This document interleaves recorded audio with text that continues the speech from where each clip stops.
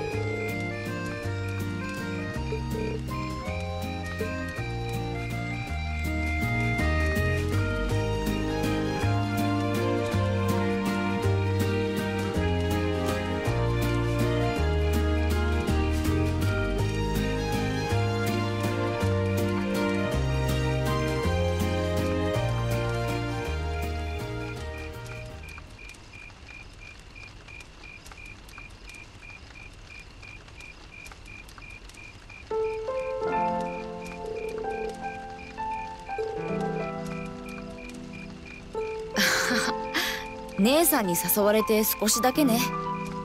兄弟で恥ずかしかったから早めに切り上げちゃったけど。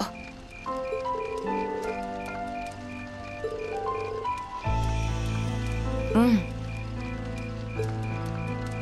父さんあのコンサートすっごく褒めてくれたんだ。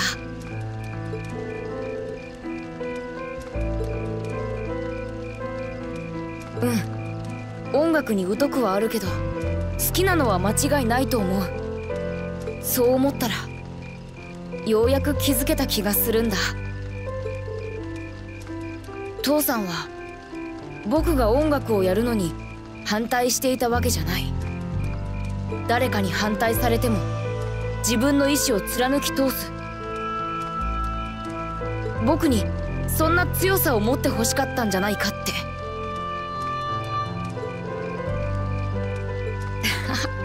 僕の勝手な解釈だけどね。でもリーンたちのおかげでようやくそんな強さを父さんに示せた気がする。天国にいる母さんも少しは安心してくれたかな。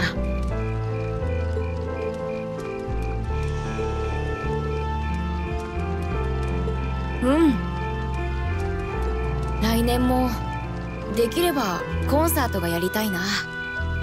今年よりももっともっと素晴らしいコンサートをさ。